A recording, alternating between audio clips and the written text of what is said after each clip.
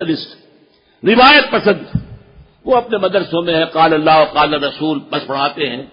उन्हें कोई सियासत व्यासत से दिलचस्पी नहीं है। ट्रेडिशनलिस्ट इनसे हमें कोई खतरा नहीं।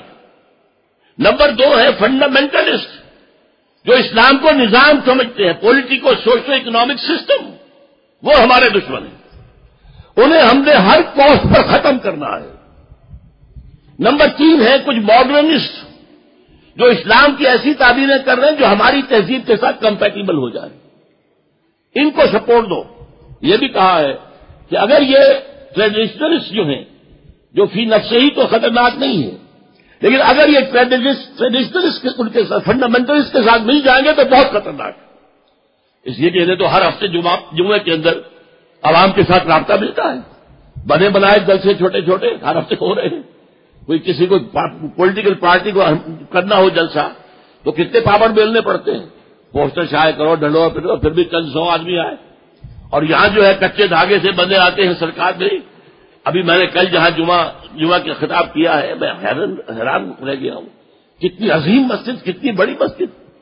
इस वक्त की जो हालत हमारी है, इससे ज़्यादा लोग वहाँ मौजूद थे। और पूरा हॉल उसका। ये क्या शादमान कॉलोनी कहलाता था शादमान टाउन की मस्जिद, मैं हैरान रह गया। मैंने इतनी बड़ी मस्जिद नहीं देखी पाकिस्तान में। बहरहाल तो ये आ रहे नहा धोकर, खुशबू लगाकर चले आ रहे हैं। और यहाँ तो मौलियों को मौका है, इनसे बात करें। अपने जहन, अपनी जहरीत के ऊपर ढाल दें। लिहाजा इन मॉडर्निस्ट को इलेक्ट्रॉनिक मीडिया पर मौका दिलवाया जाए। ये है, ये जो है लैंड कॉरपोरेशन का मशरा लिखा हुआ मौजूद है।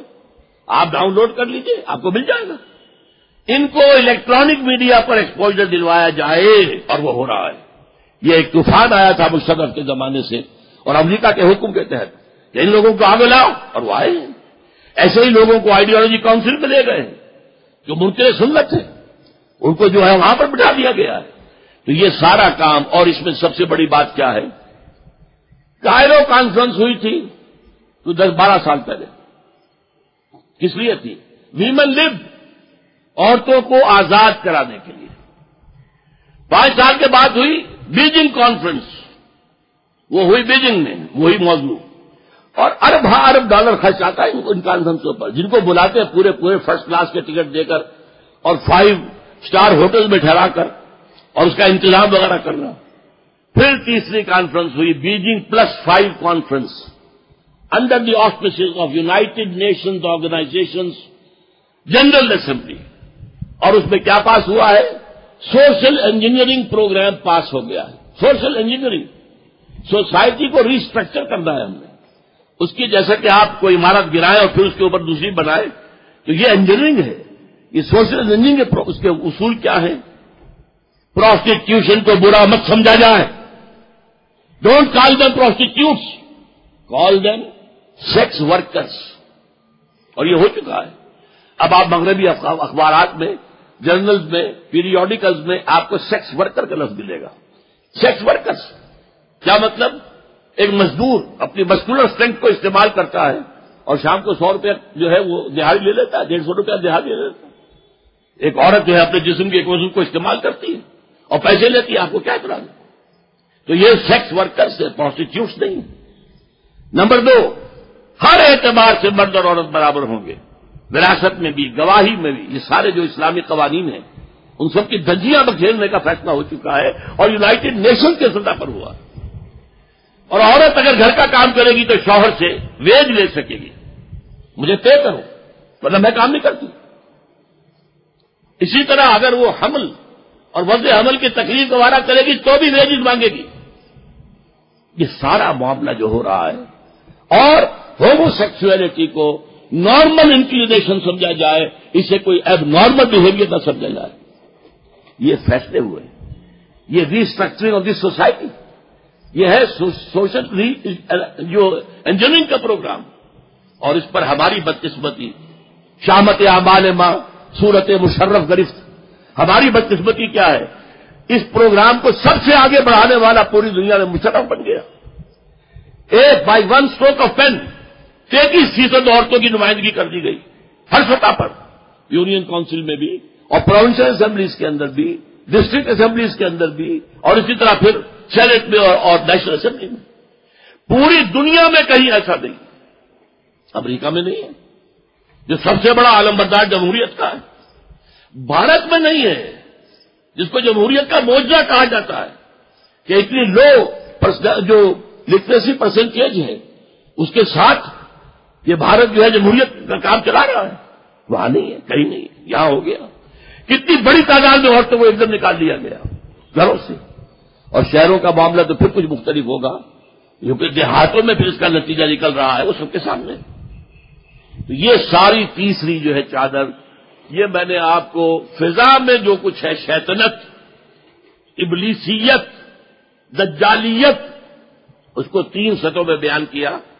Secularism and popular sovereignty number one सूद और जुए पर बुनियादी मीशत नंबर दो शर्म और हया को बाला ताक रखकर इसमें तो इज़्ज़त की अकदार को भूलकर इंस्टीट्यूशन ऑफ़ फैमिली की कदर कीमत भूलकर एक नया सोसाइटी नई तहजीब मगरबी तहजीब जो संडास बन चुकी है उसी तरीके से वो हमें भी बना देना चाहते हैं अब आइए जरा ज़मीन पर उतरिए मैंने ये तो अभी आपको ग्लोब के ऊपर छाए हुए जो है तीन चादरें वो बताई ज़मीन पर इस वक्त क्या सूरत है?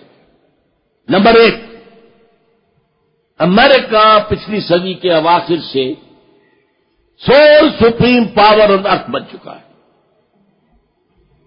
जब से यूएस यूएसएसआर खत्म हुआ, उस वक्त कम से कम यह कि दो सुपर पावर्स थी तो छोटे मुल्कों के लिए एक रास्ता था, अमेरिका नाराज़ हो तो कुछ रूस से मदद ले ले। रूस को जाति करे तो अमेरिका की तरफ़ हाथ बढ़ा दे। वो बात अब खत्म हुई। Sole supreme power on earth America और ये वो चाहता है, और इनका जो है सारा न्यू कॉन्स का पूरा का पूरा जो निज़ाम है, ये हैसियत बरकरार रहनी चाहिए पूरी इक्कीसवीं सदी के अंदर। ये उसका सबसे बड़ा एजेंडा है। ये हैसियत। Sole supreme power on earth ये हैसियत उसकी बरकरार रहे, इक्कीसवीं सदी में पूरे ये उसका एजेंडा है नंबर वन। जिसके लिए उसे अब नजला बर उजव जयीफ भी रेजत जो कमज़ोर उज्व होता है, नजले के असरात उसी पर होते हैं। आलम इस्लाम कमज़ोर तरीन नज़र आया।